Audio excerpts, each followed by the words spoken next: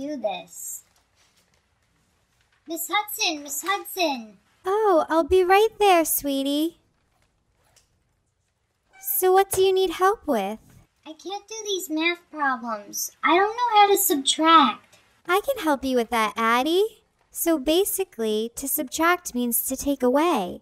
Let's start with this first problem right here 9 minus 2. Okay, so I'm holding up nine fingers right now. You take away two. How many fingers am I holding up now? One, two, three, four, five, six, seven. Seven! Good job, Addie. Write it down. Thank you for helping me, Miss Hudson. You're welcome, sweetie.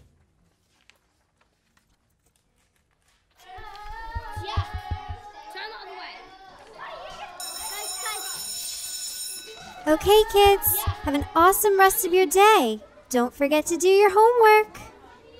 Bye, Miss Hudson. Bye, sweetie. I'll see you tomorrow.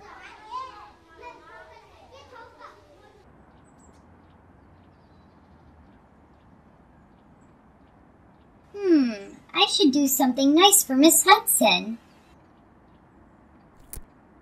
Miss Hudson's going to love this.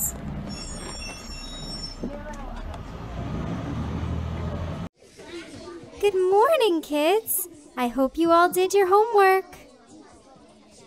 Hi, Miss Hudson. Hello, Addie. How are you today, sweetie? Oh, what you got there? A flower? Miss Hudson, I picked this for you.